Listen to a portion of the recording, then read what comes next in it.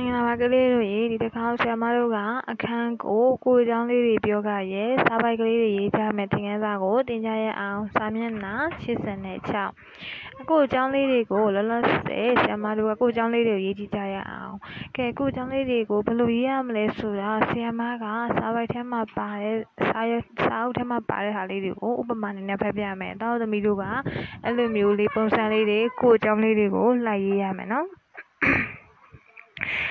ကဲကျွန်တော်ရဲ့နာမည်ကမောင်လဖြစ်ပါတယ်အဖေကဦးဘဖြစ်ပါတယ်အမေကဒေါ်အေးဖြစ်ပါတယ်ကျွန်တော်တို့ကထန်းသုံးပင်ရွာမှာနေကြပါတယ်ကျွန်တော်မိဘတွေကလယ်လုပ်ကြပါတယ်ကျွန်တော်မှာအကူတယောက်အမတယောက်ရှိပါတယ်ကျွန်တော်တို့ရွာကမူလာချမ်းမူလာတန်းကျောင်းမှာကျောင်းတက်နေပါတယ်အခုကျွန်တော်ဒုတိယတန်းကျောင်းသားပါကဲ ကိုယ့်အကြောင်းနဲ့ကိုယ်ရေးတဲ့အခါမှာစကားပြောသလိုလေးရေးရမှာဟုတ်ပြီနော်ကျွန်တော်ရဲ့နာမည်က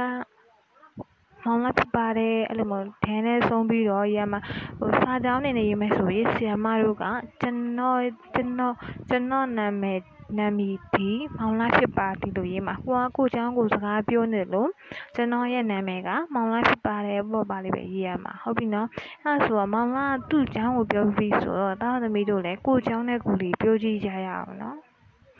ပြောကြည့်ပြီးရင်စာပိုက်လေးထဲမှာကိုယ့်အကြောင်းလေးတွေကိုဆိုက်ရအောင်နော်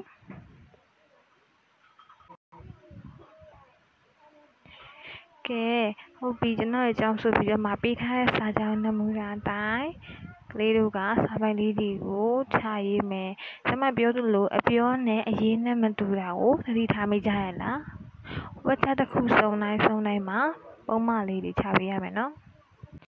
အခုကဆရာမတို့ကအရှိစာမျက်နှာအရှိတို့အရှိမှာကိုယ့်အကြောင်းလေးတွေကိုတစ်ချောင်းချင်းတစ်ချောင်းချင်းတစ်ချောင်းချင်းရေးရတယ်အဲ့ဒီစာကြောင်းလေးတွေကိုဆရာမတို့ကစာပိုက်ကလေးဖြစ်အောင်ရေးထားတာစာအုပ်ကိုစာမျက်နှာ88မှာကြည့်လိုက်ပါအောင်စာပိုက်လေးအနေနဲ့ရေးထားတာเนาะဟုတ်ပြီကဲကလေးတို့ကျွန်တော်ရဲ့အကြောင်းကိုကျွန်တော်ရဲ့အကြောင်းကိုယ့်အကြောင်းနဲ့ကိုယ်ကိုပြပြစုံစုံရေးနိုင်ရဲ့လားဘာတွေထပ်ဖြစ်ပြီးရေးချင်သေးတယ်လဲ ဝက်ကြားရဲ့ဘယ်နေရာမှာပုံမှန်လေးထည့်မလဲဆိုတာအဖြေလေးတွေပြန်စဉ်းစားကြည့်လိုက်ပါဦးနော်စာပိုင်းလေးတွေရှေ့မှာကိုเจ้าနဲ့ကိုရေးပြီးဆိုတော့ဒီတစ်ခါစိတ်ခံစားချက်စကားလုံးလေးတွေရေးကြည့်ရအောင်ကဲပထမပုံလေးမှာကြည့်ပါဦး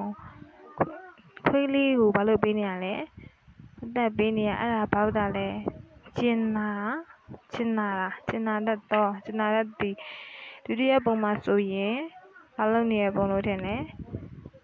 ဟုတ်တယ်ငိုနေပုံအဲ့ဒါဆိုတော့ဘယ်လိုရေးမလဲအဲ့ဒီပုံလေးတွေဘယ်လိုစာလေးနဲ့ဖော်ပြမလဲကဲတတိယပုံလေးမှာကြည့်ပါဦးနှစ်ယောက်ကဘာလုပ်နေရပုံလဲဟုတ်ပြီအောက်ထပ်ဆက်ပြီးတော့ကြည့်မယ်တယောက်ကကလေးကိုပွဲချင်နေတဲ့ပုံနောက်တစ်ခုပြောနေတဲ့ပုံနောက်တစ်ခုတန်းရှိမှာစကားပြောနေတဲ့ပုံ ဟိုဟာစိတ်ဆိုးနေတဲ့ပုံကြောက်ရွံ့နေပေါ့အဲ့ဒီမှာဒုတိယစကားလုံးလေးတွေကိုပြောဖို့အောက်မှာပေးထားစကားလုံးလေးတွေကချက်တယ်ပြောတယ်ရဲရင့်တယ်စိတ်ဆိုးတယ်ဝမ်းနည်းတယ်မုန်းတယ်အော်တယ်တနာတယ်ကြောက်တယ်ဆိုစကားလုံးလေးတွေကိုအပေါ်ဝရှိတဲ့ပုံလေးတွေနဲ့ပဲပေးရမှာ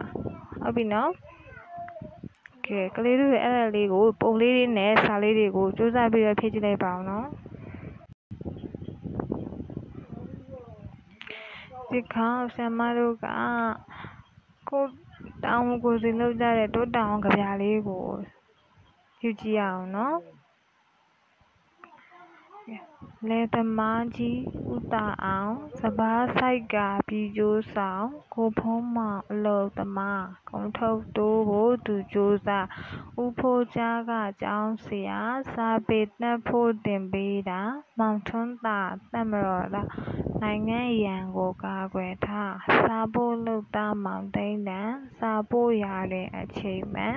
ကိုတာလန်မိတဲ့သမားမိတဲ့ရာတွင် သူ တဲ့ရာတွင် သူစွန့်စား ရဲသားကြီးက ကိုလာရွှေ လူဆိုးဖမ်းဖို့တာဝန်ကြီးတို့လုံမီမက်ခင်မြရင်ထင်းရာတွင် ကျွမ်းကျင်လာဦးစိန်ပါကဆရာဝန် ကုသရေးမှာ သူထိုးချွန် မလှမွန် သူနာပြု စေတနာနဲ့ သူပြုစု ဦးတာနုက ခေါင်းဆောင်ကကျေးရွာကောင်းကျိုးတဲ့ပုံးမှာက ဆရာ ကိုဘတောင်း ဘေးရန်ကြီး၍တည်းနှင့်မောင်ကျောင်းသူကျောင်းသားတို့အဖော်အရွယ်ရောက်လို့ကြီးပြင်းသော ပညာတော်မျက်စိတ်ထား တာဝန်ကိုစီထမ်းဆိုလား အဲ့ဒီကပြန်ဆိုင်ကို ရေးရသူက တက္ကသိုလ်မောင်မောင်ကြီး ဟုတ်ပြီနော် အဲ့ဆို တာဝန်ကိုစီထမ်းဆောင်ကြတဲ့ ဒီကပြလေးကို နောက်ကနေ ဆရာမ ဆိုလို လိုက်ဆိုကြည့်ပါဦးနော်